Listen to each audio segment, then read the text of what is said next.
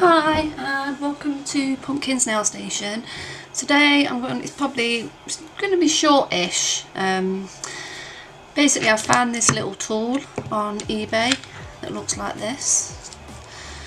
So it's got like a little incision in it, and then this goes in there like that. And what you do is you put your nail accessories in there, flatten them, and then it gives it more of a curve to sit on the nail there so it will sit flat basically that's what it does.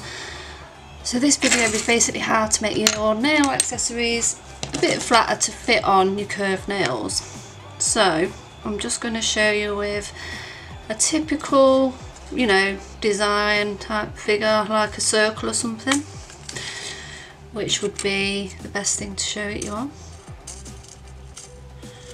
So I've got some circles here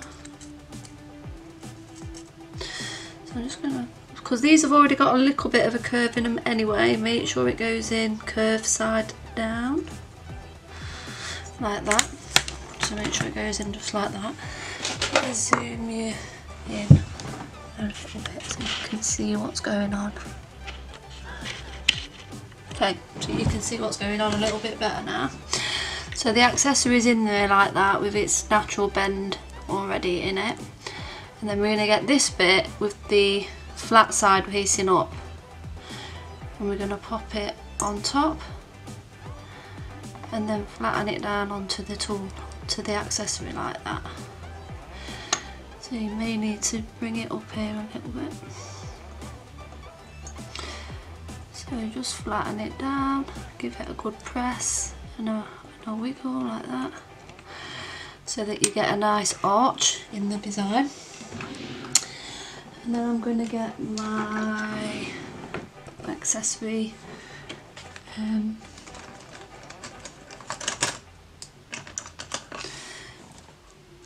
it's not that brush. It's this brush. So I'm just going to get a little gel brush what I've got here and pop it onto a nail stick. So say we'll pop it onto this purple glitter one or something for now. So get a good bit of the paste on it like that. And just pop it where you want it. So like that. Get your tweezers. Pick up your accessory make sure it's the way that you want it. So it's like curved side facing downwards. And then pop it on. Wait. Get it. Make sure it's curved side downwards. And pop it onto the nail and just maneuver it around a bit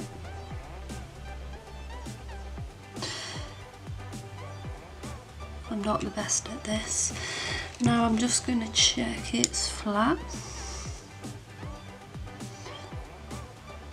And it's nice and flat. So basically just make sure it's all it's all flat all the way down. I mean you can check it's nice and flat before you fit it if you want but that is lovely and flat now. So there's no there's no like, you know, sometimes when you've got a nail accessory and it's like lifting up at the side. while this is nice and flat all the way around. There's no like lifting or anything. I'm just going to cure that for about 30 seconds. Just going to focus back in on the table.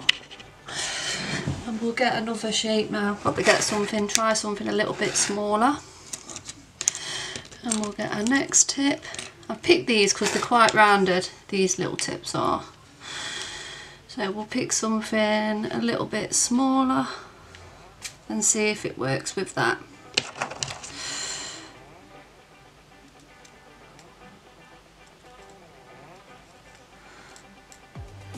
So we'll pop that into there.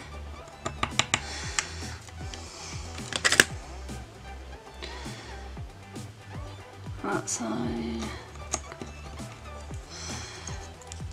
make sure the back side up is facing upwards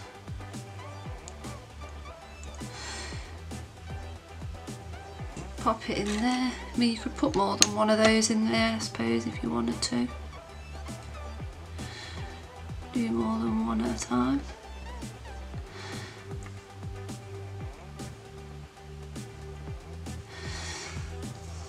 There must be something like stuck to that. So I'm just going to position that in the centre. Like so we're going to get this.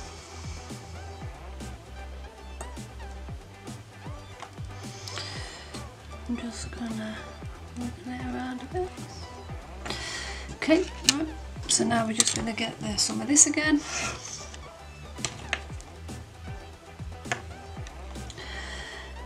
Just pop it there, some of the gel there like that. So it's got a nice bit of gel. So you might need to turn this around now at this stage. And just get it where you want it. Make sure you can see what I'm doing. Just drop this down. and just make sure it's on top of the gel. And then I'm just going to have a look and see if it's flat. And yeah that's nice and flat. You can't really see that on this one. It's probably not the most contrasting of colours that I've picked but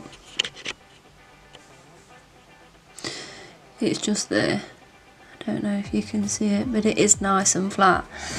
And that was a tiny accessory as well. Um, basically this little tool here only cost I think it was a pound with free shipping from China.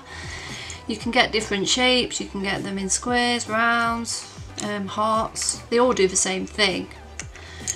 Just it's what shape you want. So I picked the heart shape one.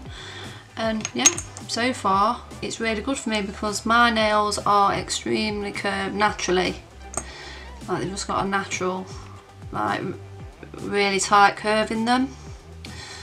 Like even underneath my nails, they're just naturally like tightly curved. So I do need something like this because nail accessories just don't sit flat on my nails. I don't know if it happens to anybody else. Like where it's, where when you put the gel on it, it's like all messy and you have to put loads of layers on just to make it smooth. Well with this tool it's basically just make it flat and add your top coat on it, your encapsulation layer and it will be fine.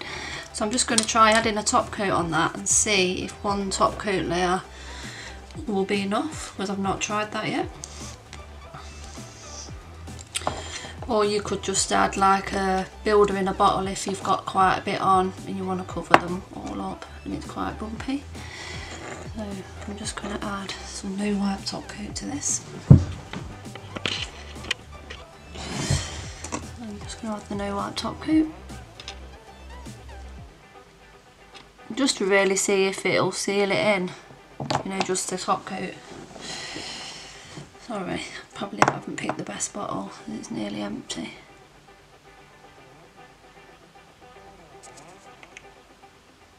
This is just for test purposes. I mean, you may not want to seal in the gems, you might want them to be like a 3D effect. But some people might like to encapsulate them in.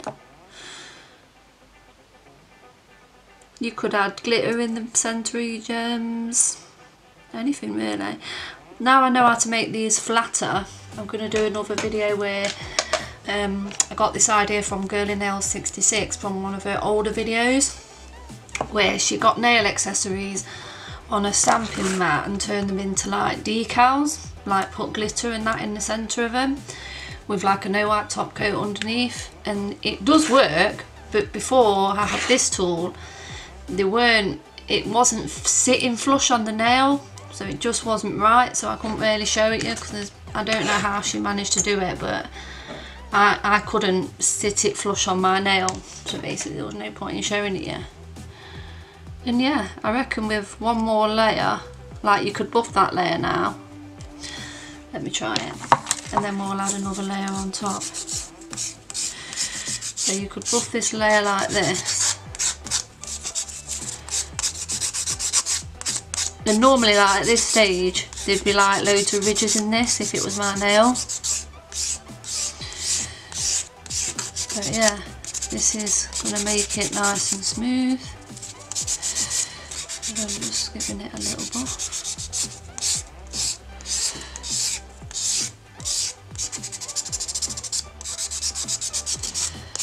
Right, so just give that a little buff and wipe my finger and we'll just pop another layer of the top coat on.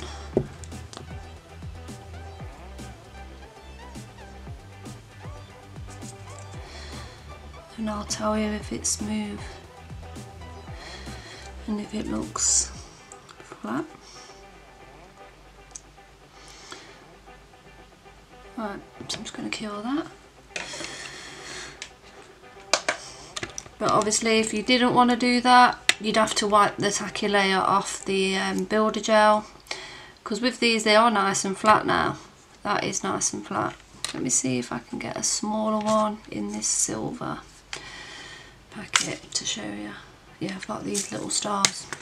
So let me see if I can show you with that. Let me see what time we're on. Just going to pause the camera and then I'll just get the silver one in there and then pop it on the nail and show you that. okay, so I'm back. So I don't know if you can see that one a bit better now. I've zoomed in a little bit more.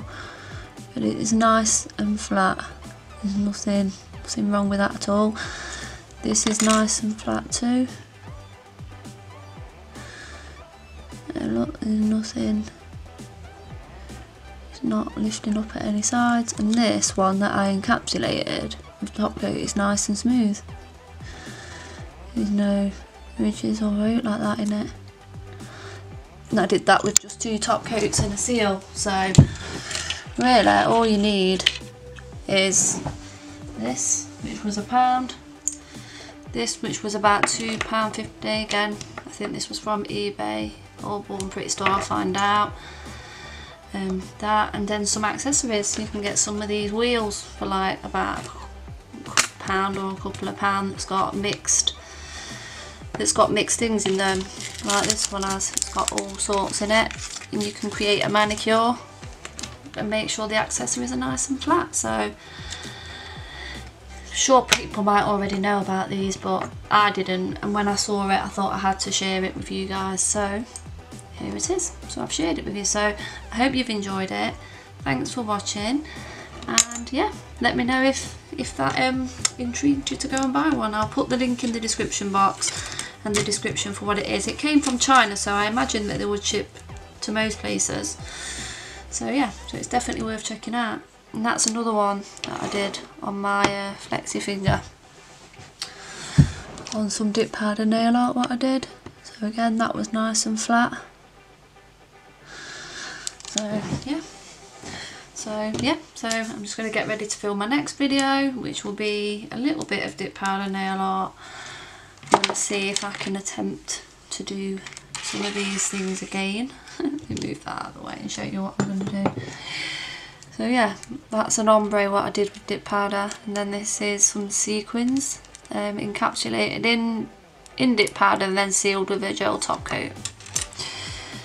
And this was my other attempt at an ombre with dip powder. And this one's not as good as that one, but hey, I was practicing, it was my first try, so.